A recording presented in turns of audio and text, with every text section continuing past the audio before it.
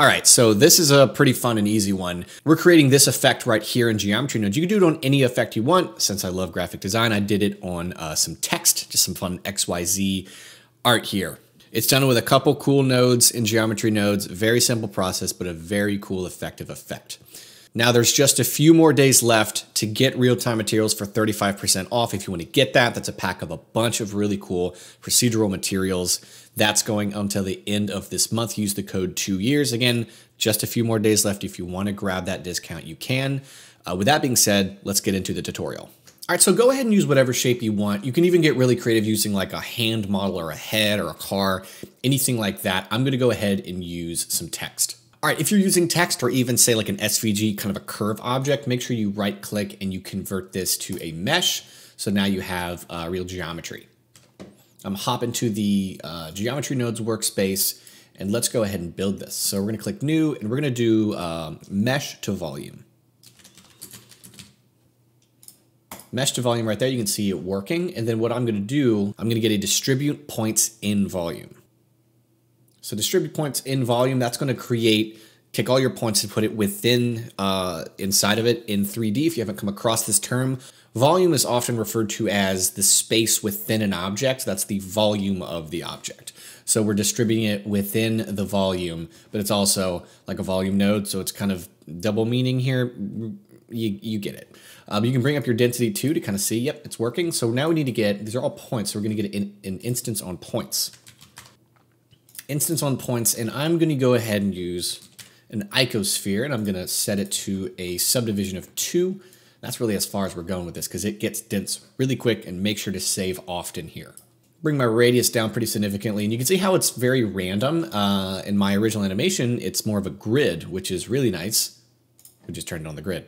Um, right here on the spacing, be really careful because if you get dense quick, your computer will crash just because it's dealing with all the geometry. So I'm going to 0.06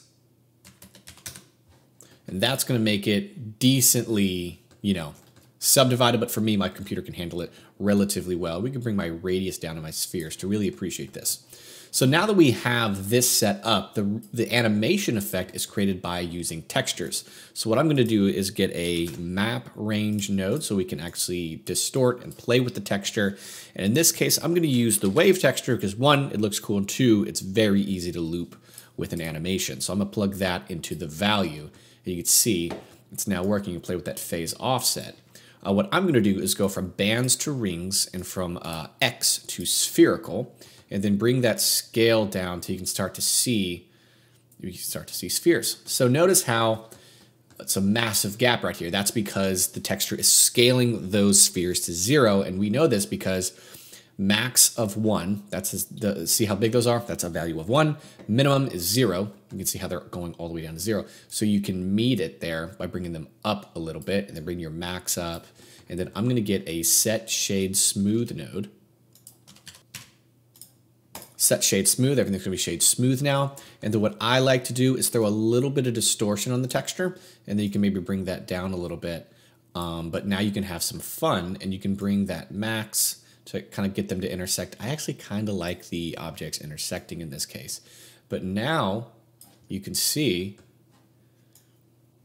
it is working. So we can just kind of look at this nice and big, phase offset. We can see this is a very cool effect. And if you're using the wave texture, let's just go ahead and loop the animation. So we're gonna go here and get the timeline and I'm gonna keep it at 250 frames, go back to frame zero, and then uh, right over here, I'm gonna hit T and we're gonna get the linear so that everything's nice and linear and it doesn't speed up, slow down in our animation. What I'm gonna do now is just hit I, go to the very end and we're gonna do a little bit of math that we don't have to understand. Type in 10 asterisk pi and that is going to give you a perfectly, well, don't have caps lock on. We're gonna do 10 asterisk pi. That's gonna do the math for us to make this seamlessly loop and uh, I used a value of 10. Uh, the higher the value, the faster, but it needs to be an even number to loop. So if you want to be slower, maybe 6 asterisk pi would be quicker, 12 or 18 asterisk pi. So you can kind of have some fun with that. And now our scene is looping. Now, if you want to create a really cool scene with this, I'll show you how to apply materials if you're not super versed in geometry nodes. I'm going to just go to uh, a cycles view and give it some lighting really quick. So what you can do, uh, what I did was I just gave it a, just a basic floor. And then with the materials, we can get a set material node. Uh, let's see, set material. And then we're just going to give it new. We're going to call it, uh, we're just going to call it weird and make it orange. And here's what I like to do. When these objects are touching, it's fun to play with the fact that they're touching.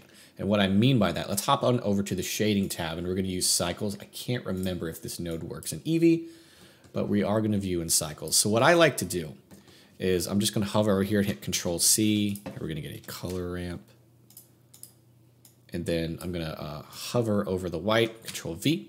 And then what I'm going to do is get a ambient occlusion node.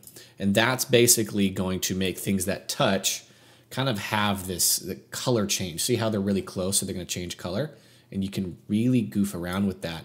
And then I'm going to hover over here Control V, and then just kind of bring that to a dark orange, and that gives you this very I don't know cool effect. I like it. I think it's weird, and I like weird, which is why I titled the material weird.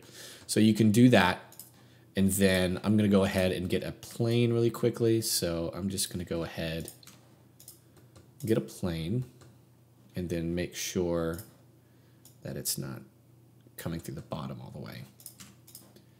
We'll go back to cycles and I'm going to go ahead and get a light, area light. We're going to put one, we're going to put one above it at a strength of like 500. Then I'm going to hit shift D and I'm hitting G to move it around and I'm hitting R twice to move it. And we'll get one to point at it like that and then we'll get the ground, I mean the, the sky to be black. We'll get the ground plane just to be metallic and uh, we'll give it a uh, clear coat as well so it reflects reflects a little bit. But actually, no, we're just not going to do the clear coat. We'll just do regular roughness like this. And then I'm just going to go ahead, get a camera, point it like here, Control Alt Zero, snap it to view, and I'm going to do orthographic view. You can then kind of rotate it here and scale it up. And that's kind of how I did my original my original look. And maybe do it a thousand and then you can press play and watch your animation. At this point, you can take it and make it your own. Uh, but that's how I created this effect right here. It's super cool. You can apply it to anything, make some cool motion graphics, and that's how it goes. Um, that's it. Don't forget, if you want to grab real-time materials, you have just a couple more days to get 35% off. Use the code 2 years, linked in the description. Uh, I'll see you guys in the next tutorial.